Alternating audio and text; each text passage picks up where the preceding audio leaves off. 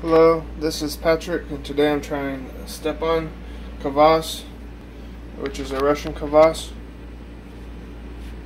And here's the label. Import label.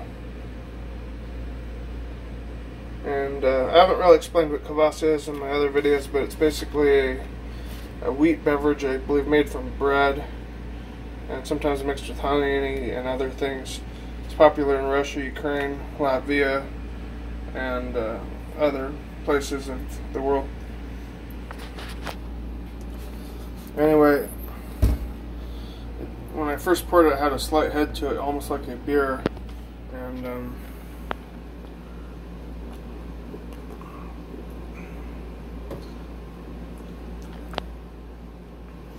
starts out very smooth, and then it uh, is sort of tangy, and then actually ends kind of bitter.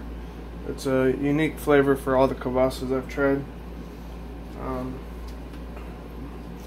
and uh, for my Russian viewers, um, я американский, я нравится это Степан uh, русской квас.